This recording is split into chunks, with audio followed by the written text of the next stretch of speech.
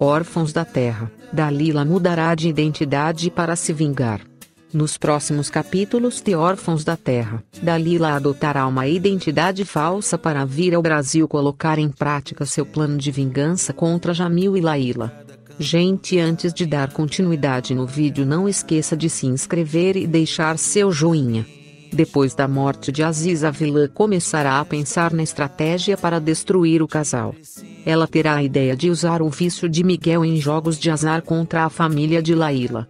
Para isso, contará com a ajuda de Paul, um amigo de faculdade. Paul chegará primeiro ao Brasil e seduzirá a Camila mando da vilã. Enquanto isso, Dalila mandará uma mensagem para o centro de refugiados se passando por Basma Bakri, uma rica empresária síria interessada em ajudar a instituição. Tendo em vista a guerra na Síria, meu país de origem, e da receptividade com que estamos sendo recebidos no Brasil, resolvi me mudar para São Paulo e ajudar todos que estão chegando e sendo tão carinhosamente recebidos pelo centro, dirá no e-mail.